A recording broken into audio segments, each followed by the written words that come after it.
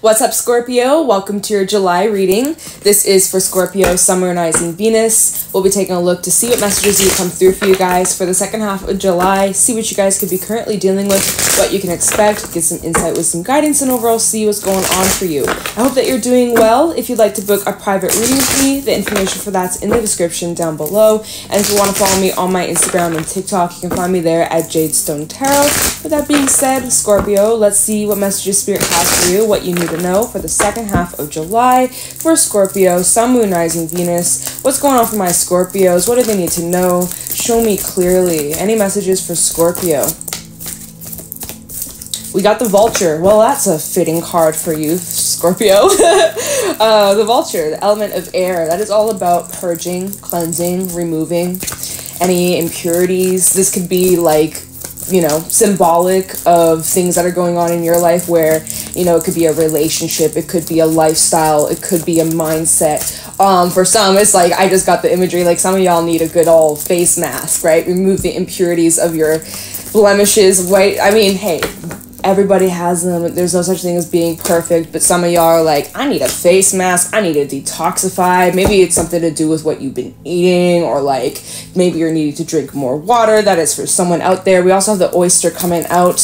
Um, there could be something that you've been kind of keeping quiet or like not really showing something to like you've been keeping something hidden. You've been keeping something a secret. Maybe it's because there's still some things you got to remove before you can uh, maybe announce something or you're putting something out for the world to see but you're not ready yet or there's some things you got to do before you can take that step to like opening up in some sort of way like this could even be talking about you trying to open up in a relationship but like there's still some fears Nothing else is coming out from the animal deck. I'm gonna give it one last shuffle. Okay. Oh, the phoenix. Well, isn't that fitting, Scorpio? Okay. All right. So you got some work to do. We also have the buffalo at the bottom of the deck and the cosmic egg. You got some work to do, but Scorpio, you are coming close to wrapping up some sort of cycle in your life, some sort of Hmm, maybe it's a pattern, maybe it's some sort of like reoccurring theme or lesson or experience situation that keeps coming up because there's a lesson here for you to learn. It looks like the second half of July, you're cementing this. You're cementing a lesson that you've learned and you're able to close that door, close that chapter once and for all, right? So it kind of seems like oh my god this is just amazing the way that these cards came out. So we have look at the oyster to the to the phoenix. The oyster is like closed off um, kind of afraid kind of scared you know not really ready or not really feeling ready to put yourself out there. There's this hesitation, right? Something has you kind of like clammed up. And then the phoenix, which is all about transformation, spreading your wings, opening up. Like just look at how we go from this closed off energy. Here, I'll put it like this so it makes sense. Like in the order, it's like this to that, right? Oh wait, no, it's backwards on my computer. Okay, right? Yeah okay never mind it doesn't matter you guys. It doesn't matter but you go you start off kind of like in this closed off kind of holding back maybe even kind of four four of pentacles energy kind of holding back or withholding something withholding information withholding some sort of talent some sort of idea and then you get the green light and it's time to go. It's time to i mean the phoenix scorpio that is literally your energy rising from the ashes massive transformation. Um is about letting go of what we were just talking about with the vulture, those impurities, the te- toxic situations, relationships, mindsets, etc., etc., etc. There's some cleansing, there's some work that needs to be done, and you're doing the work. You're doing the work, and you're waiting. We're waiting for the opportunity to open up or to take some sort of action that will forever change your life. That will really transform this chapter that you're in you're stepping into really like a new chapter of your life where time from now some like time six months a, a year even a few weeks you look back and be like wow that was the turning point. That's where my life changed. That's where i really stepped into my power. That's when yeah okay i went through this loss and i lost out on this or this relationship left my life but now this is in my life and if it wasn't for that loss i wouldn't be where i am today. So like that's like down the line, you're going to look back at this situation, this loss, or whatever it is that you have to remove, or maybe it's a setback, maybe it's some sort of delay or block, right? We have the buffalo at the bottom of the deck, which indicates that maybe this this path that you've been on, Scorpio, it hasn't been the easiest, but you've been determined, you've been very focused, and you're not a quitter. I was saying this in Capricorn's reading that the, you, if you're afraid of failure, all you have to do is just don't quit, right? As soon as you quit, that's when it that's when it's failed, right?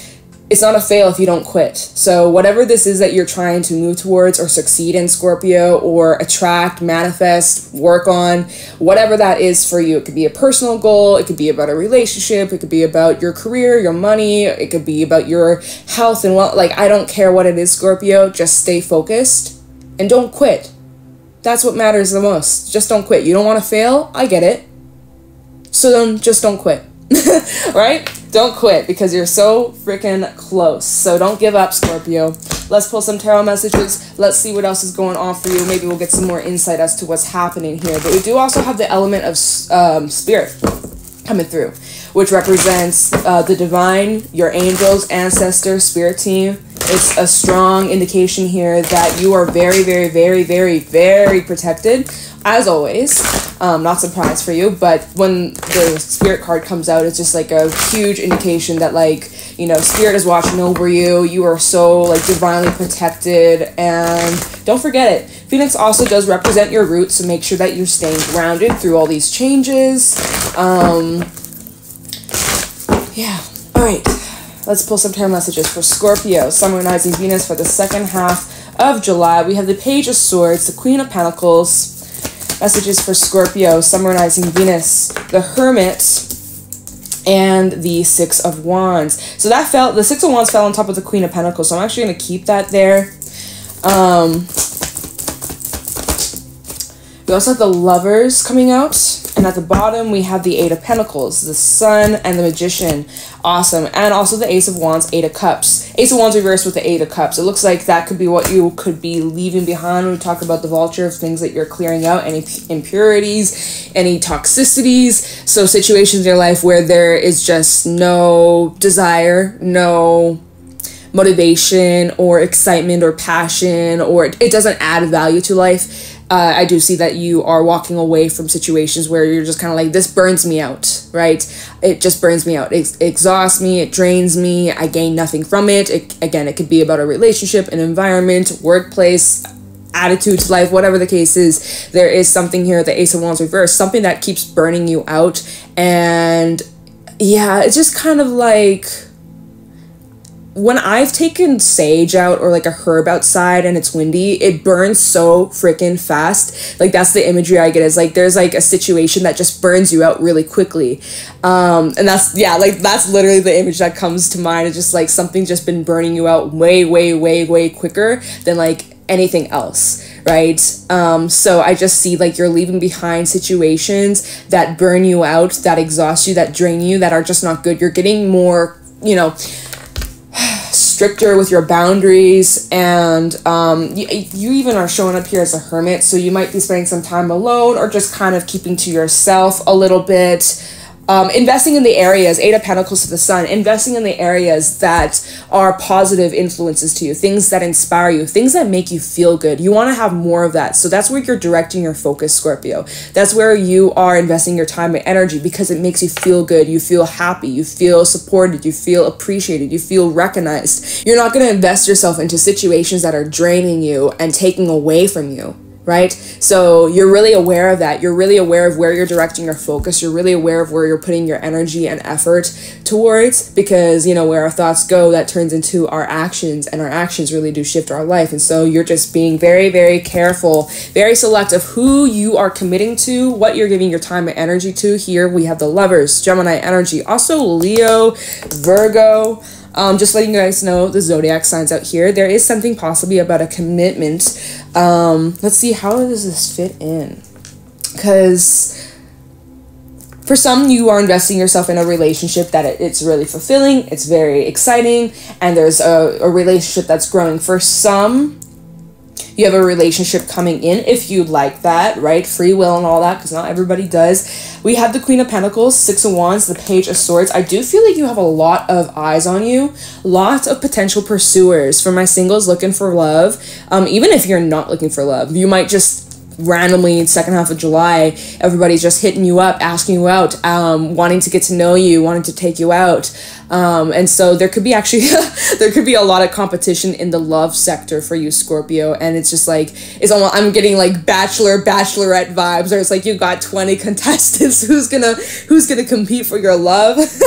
Who's worthy of the commitment? I'm just saying right? And you're kind of like in this hermit energy like hmm what am I looking for here? Who checks all these boxes? Whatever right because you're showing up here as the queen of pentacles. You're very abundant. You're very confident. You've been taking really good care of yourself. You're sure of yourself in the world. Like there is no lack of confidence here. You are very secure very grounded and you're very healing too. That's the energy that you are embodying in the second half of july where you know you are just at your ultimate best. Like you're just living your best life scorpio and you just want to make sure that whoever comes into your life they're adding to your life. They're not taking taking and draining. So when you have all these pursuers here because it fell on top of the queen of pentacles well i have another message i'll pass on after this but you may have a lot of eyes on you. Lots of people um, are drawn to you. You're gaining a lot of attention.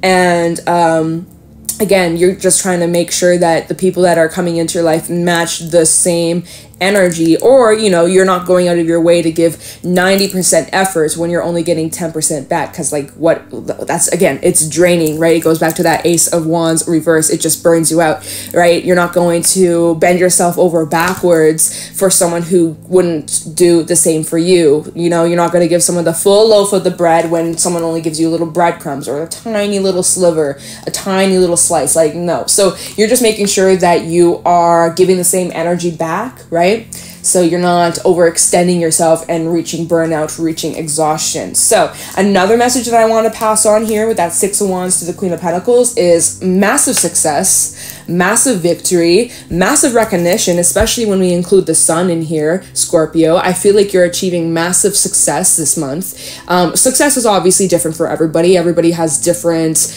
um, interpretations of what that is. But so, whatever that is for you, Scorpio, whatever it is that you like to achieve or accomplish, I feel like you're making a great. Um, like dent in that you know? Does that make sense? Like you are really making moves from a place of power but it's like not in a negative way. It's in like a really positive way where it's not only influencing and impacting your life but it's also helping others and for some it's like you're going to be able to provide for your family or provide for your loved ones friends um, people that you really care about. It's like you're you're going to be able to spread so much positivity and change people's lives for the better. It's just so beautiful. I really am liking this energy a lot. And like i said the six of wands to the page of swords there's lots of eyes on you, lots of attention. You might even have someone keeping tabs on you. Just have to throw that out there because the Page of Swords is known to be the stalker, especially through like social media. So if you've had any suspicions, Scorpio, obviously this message ain't gonna apply for everybody,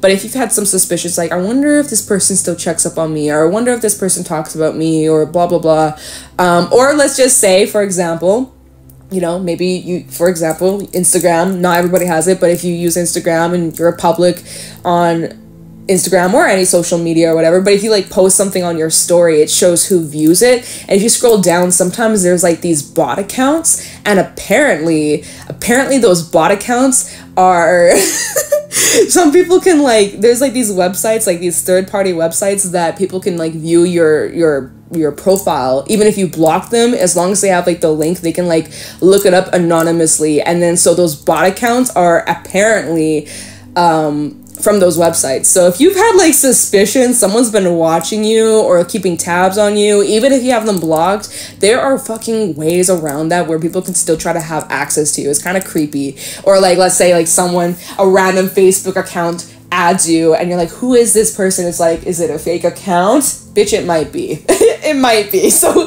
just like be aware of that it's kind of weird but um I don't think that's gonna bother you too much. Because again, I feel like you're being very select of what you're putting out there for the world to see. Like you're protecting your privacy. I am picking up on that a lot. Like you are, sh- you know, Scorpio. You guys are very select of what you share the world with, or who, what you, what you share about yourself with the world. You're very private. You're showing up here like you know you have a lot of attention, lots of eyes on you, but yet you are still remaining private, or you're keeping things private where people can only see certain things about you. And like that's not a bad thing at all. You know, privacy is important to have. Um, so yeah, those are basically the main message and messages. I have so much energy, Scorpio. I feel like I can't speak.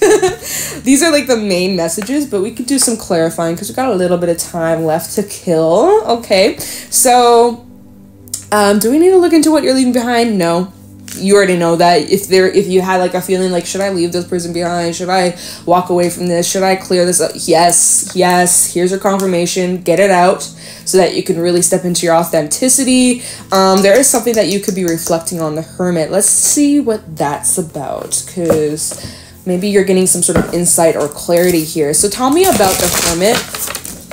That's that was me. I'm not taking those cards. Big ass sack.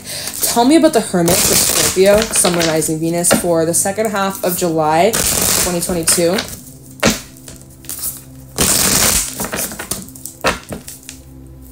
Oh, speak of the Hermit, we have the Hermit at the bottom of the deck. Wow, okay, tell me about the Hermit for Scorpio. What is Scorpio reflecting on second half of July 2022?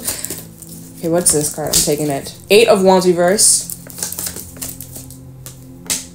Queen of Coins reversed. Could be dealing with a Capricorn or fire sign. Ooh, Ace of Coins reversed and the World. Okay, so you're looking back at a so for some this is not obviously gonna apply for everybody. Use your discernment. Two of Wands reversed. Six of Wands. Is my deck actually upside? You know what? I think it is, but we'll just read it this way because they came out. They can flip themselves out. So Eight of Wands reverse can indicate blocks, can indicate um, if this is talking about communication, this talks about blockages in communication. And I kind of see here Ace of Coins reverse, Queen of Coins reverse. Like you're not, this kind of just goes back in what you're leaving behind, the Ace of Wands, what, what's been draining you. Um, and so we have the hermit. It's like you kind of protecting your energy, kind of like that oyster, like you're shutting off from some people. That's what I feel from this Eight of Wands reverse, Ace of Pentacles reverse, and the Queen of Pentacles reverse. I feel like you are shutting off from people. And sometimes the Queen of Pentacles reverse can show up in a reading as like someone who's kind of self selfish or self centered or kind of just focusing on themselves. And in this case, like that could be how someone maybe views you, like you kind of shut them out and they may feel they may view you as someone who's like being selfish, but like really you're doing that to protect your energy. That's how someone's seeing you though. That's on them. That's their own projections. Like it has nothing to do Scorpio, nothing to do with you Scorpio. Like I'm not saying you're selfish. Like you are literally putting yourself first, right? But someone may see you as like, wow, Scorpio just shut me off. Scorpio just dipped. Scorpio doesn't care about me. Scorpio's just me, me, me. But like, really, you're just protecting your energy and you're being selective of who you're giving your time and energy to, right? So I do see here with the world, um, massive cycle has been coming to a close here, probably tying back in with the vulture, the phoenix, even the cosmic egg that showed up here in this reading at the bottom of the animal spirit deck. But I just see like you're kind of shutting some things out of your life and just kind of like in do not disturb disturb mode. Like, don't bother me. Don't disturb me. I'm getting like kind of stuffed up all of a sudden. Like, yo, what's going on? but yeah, and at the bottom, two of wands reverse, six of wands reverse, and the three of wands reverse. I know all these cards are like upside down. Um, two. Wow, lots of lots of fire. I just realized that. Yeah, like this is. I'm just basically just the same energy. I don't really feel like I need to keep saying the same old shit. you guys get the point. Let's move on. Let's take a look into um, the sun. Yeah, we'll look into the sun. And then we're going to wrap some things. We're going to wrap it up after this because there's not a whole lot to really talk about. It looks really positive for you, Scorpio. So tell me about the sun for Scorpio. Sun can also talk about illumination, truth, which we have the Ace of Swords at the bottom of the deck because I'm talking about that. Funny. uh, yeah, so the sun could talk about like truth, seeing things for what it is, um, getting clarity on a situation. So if there is something that you've been reflecting on or trying to get clarity on or closure on, I do see that you'll be getting that Scorpio. You'll be getting answers uh, if you've been trying to get some answers. Me about the sun for Scorpio. For the second half of July 2022. Tell me about the sun for Scorpio. Okay, King of Wands reversed. Tell me the sun for Scorpio. Just making sure my deck isn't upside down. No, we're good. Okay. Just about, okay, wow. Nine of Swords reversed with the sun, double confirmation. We have a lot of cards that came out. Um, the Knight of Wands reversed, Empress, Seven of Swords, and the Devil. Wow. Wow. Ten of Coins, Ten of Swords, Nine of Coins at the bottom, Five of Coins. Wow. Okay, we'll talk about that. Because we got a lot that came out here. Mmm. How do I... Okay, um, let me just, like, put these in order here. Because this Knight of Wands reversed, King of Wands reversed, definitely feels like that's an individual or maybe a couple people in your life and this is you protecting your energy. Wow, there is such warmth, such protection around you, Scorpio. So, you've gotten clarity about the people, certain people in your life that don't have good intentions, um, people in your life who may have been very flaky, inconsistent, non committal. Um, with the King of Wands reversed, there may be some resentment that you carry towards these people. There may still be some unresolved feelings. Maybe that's what you're reflecting on here with that Hermit and the world. So, maybe that's um, some things that are coming up within you of you working through any of that that anger, yucky feelings. That's the energy of the vultures, like really just needing to work through all that dark, yucky energy, but working through it and transforming it so that you don't have to carry it with you moving forwards, which is also the energy of the phoenix. So, you know, there has been some people in your life that didn't treat you with kindness, respect, what you deserved, right? And so, yeah, it makes sense that you're feeling that type of way, but at least you now know you've gotten clarity that some people just don't have good intentions. Look at the Seven of Swords to the Devil. Like, this is someone who's stealing your energy, stealing your time for some, stealing your money, your love, taking advantage of you. You're done with that, and you've gotten clarity on that, and it's just like you are that's where you are really protecting your energy. Back what we were saying earlier how someone may view you as like wow scorpio just like vanished or scorpio doesn't talk to me anymore. Why don't they do that? It's like yeah maybe it's because you drained the fuck out of scorpio. You burnt them out. Like so, anyways, with the devil and the seven of swords, you're very, very aware of certain individuals that were taking from you, taking advantage of you, draining you, and then we have the Nine of Swords reverse. You're no longer being affected by their energy. We also have the Sun. Um, you're seeing the reality of the situation. You may have been in your head at a time, like feeling kind of guilty or kind of, kind of like you know, putting up with treatment that you know you didn't deserve, but you were putting up with it because you didn't want to hurt anybody's feelings or you didn't want to come across as being rude or like, you know, like being like sacrificing your inner peace to keep the peace in a situation, but really you were just like swallowing your truth and holding back what you really felt, and then it was just making you feel like shit. So with the Nine of Swords reverse, you're coming out of those fears of like, oh, what if they think I'm a bad person, or what if this, or what if that. Like now you are like, no, I'm not going to let these thoughts put me there. I need to put myself first. I need to do what's right for me, you know, and that's okay. You know what? Sometimes we outgrow connections. Sometimes you and a specific person or a group of people are no longer compatible, and that's all good. That's what happens in this life. We can't always, um, grow together, right? Anyways, we have the Empress that came out. It's like you're really just protecting your own peace and yeah, like there is no, you shouldn't feel guilty for that. You shouldn't feel guilty for putting yourself first or um, just following what's right for you. And there's this certainty you have within you, like knowing that this is the best thing that you could do for yourself. And um, you're feeling more positive, feeling more calmer, less anxious, less stressed because you no longer have those kinds of individuals or energies kind of sucking away from you. You know, maybe you felt like you couldn't really be yourself around certain people. Maybe you felt like you had to water yourself down or pretend to be someone that you weren't. Or, you know, it seems like you're really stepping into a time of your life, Scorpio, where you can really be authentic and you're not so worried about what others might think of you, whether people love you for it, hate you for it, you don't really care. And plus, it's not really your business business anyways. um, what matters most is like what you think of yourself, really. It comes down to are you happy with yourself? Um, do you love yourself? Are you working towards those things if you're not there yet? You know, there's always room for growth and improvement, but at the end of the day, you are stuck with yourself till your last breath, till your very last breath on earth, right? So it's important that like what matters the most is what you think not what everybody else thinks and you shouldn't have to feel pressure to like follow the crowd or do what society thinks is right like you're really just sticking to your guns and following your own path which is funny because that's literally what the hermit says i follow my path right I follow my own path, the little affirmation at the bottom. You're really reconnecting to your own path, not the the crowd's path. You're not um you are leading your own path. And if people want to follow, awesome. People want to support you, great. If people don't, awesome. Like you do you. But yeah, what a powerful reading, Scorpio. I hope that you enjoyed. I hope that you found this helpful and insightful. If you did, let me know in the comments below. Leave a like, subscribe to the channel. I greatly appreciate all of you. Thank you so much for all of your support. If you'd like to book a private reading with me, the information for that's in the description down below. And if you want to follow me on my Instagram and TikTok, you can find me there at Jadestone Tarot. I'm going to let you go. Thank you so much for watching, Scorpio, and I'll talk to you in the next one. Take care.